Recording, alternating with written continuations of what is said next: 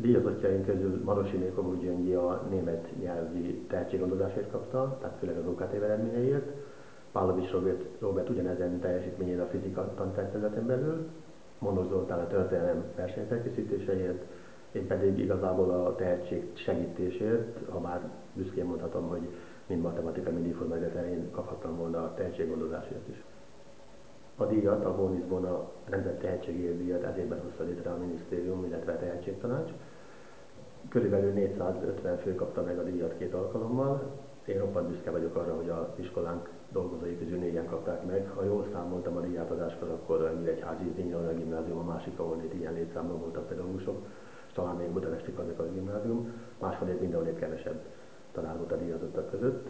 Úgy gondolom ez nagy elismerése az iskolánkban folyó tehetséggondozó munkának ami alaptevékenységnek tekintett tevékenység nálunk, tehát mindenki fontosnak tartja ezt a dolgot.